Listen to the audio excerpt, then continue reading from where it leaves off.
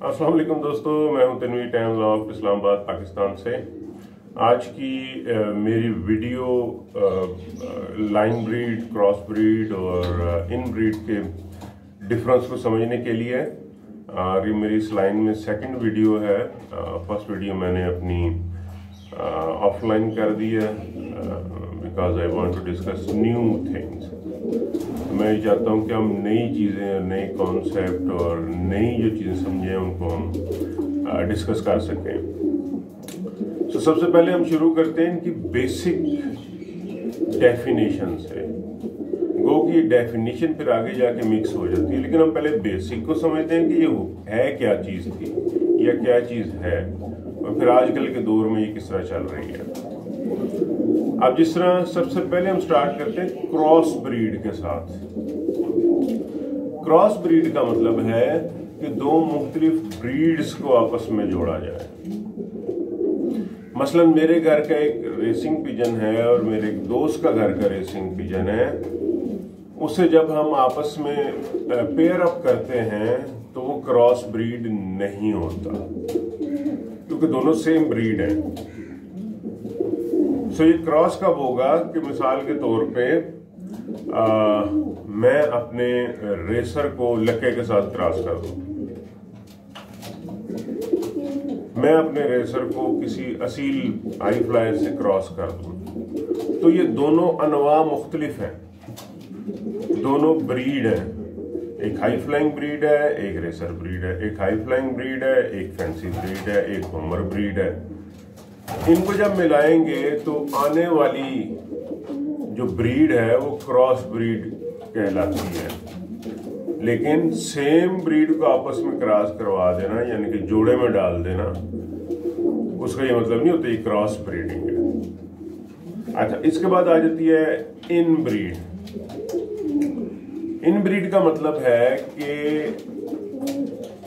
ऐसे दो कबूतरों का आपस में जोड़ा लगाना जिसके अंदर, जिसके अपने, यानी कि वो कहते हैं ना, पैदाइश के अंदर कम अज कम दूसरों का हाथ हो, उन्हीं के साथ दोबारा जोड़े लगा देना।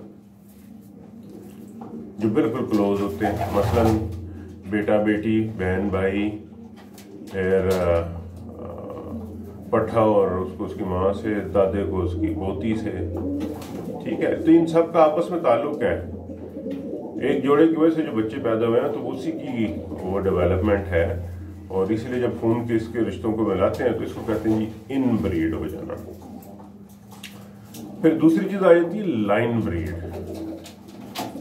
अच्छा अब जिस तरह हम रेसर्स में भी देखते हैं कि शॉर्ट होता है मिडल होता है लॉन्ग होता है एक्सट्रीम लॉन्ग होता है।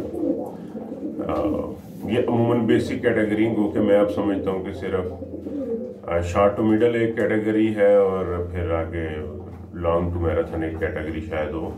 और शायद कुछ केसेस में ऑलराउंडर हो एक ही कैटेगरी हो। लेकिन समझने की हद तक ये अभी तक तीन क्लासेस एग्जिस्ट करती हैं शॉर्ट मिडल लॉन्ग अब मेरे पास लेट से जेंसन क्योंकि शॉर्ट डिस्टेंस के कबूतर होते थे दो ढाई सौ, तीन सौ किलोमीटर तक उड़ने वाले तो ये चार सौ भी उड़ जाते होंगे। तो पॉइंट इज़ कि मेरे पास जेंसन एक लाइन है जो 400 किलोमीटर तक जाती है, उसे हम शॉर्ट डिस्टेंस कहते हैं। और मेरे घर में दूसरा कबूतर है, जो एबीसी लाइन से है, और वो भी शॉर्ट डिस्टेंस के क्राइटेरिया के ऊपर एग्जिस्ट करता है।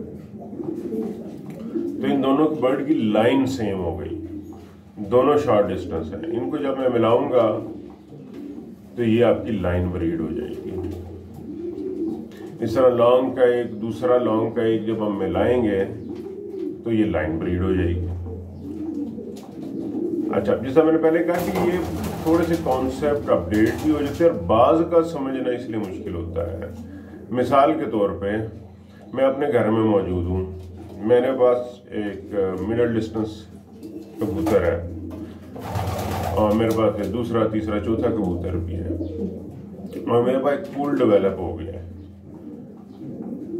तो मैं जब अपने एक जोड़े का, दूसरे जोड़े के साथ जोड़ा बैठाता हूँ तो उससे आने वाले बच्चे, वो एक ही वक्त में इनब्रीड भी हो सकते हैं और लाइन ब्रीड भी हो सकते हैं।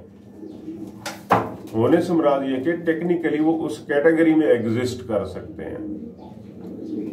मसलन जोड़ा ए जो सा है, उसके मेरे पास बच्चे हैं और जोड़ा बी है, उसके बच्चे हैं। दोनों मेरा जो टॉप मेल जेंसन था मिसाल के तौर पे, उसकी बच्चे हैं।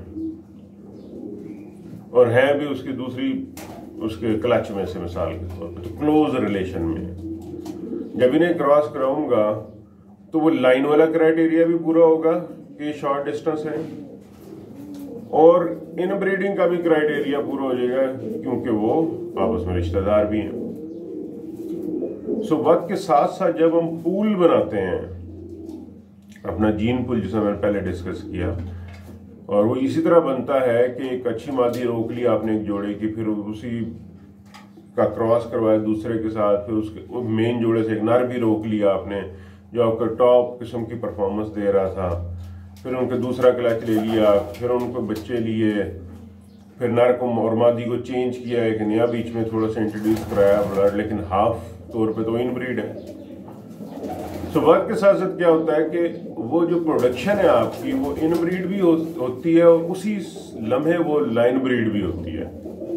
तो ये काफ़ी ब्लर बाउंड्री हो जाती है। तो इसलिए मैंने पहले कोर का समझाया आपको कि होती ये है लेकिन आजकल इम्प्लीमेंटेशन की वजह से इसका फ़र्क ढूंढना मुश्किल है। मिसाल के तौर पे आज देखें जिस तरह हाई फ्लायर में हमारे दोस्त हैं। वो अमूमन टर्म यूज़ करते हैं क्रॉस जब मैंने डैडी लिया, उसको मैंने क्रॉस कराया गोल्डन वाले से। तो ये गलत टर्म है।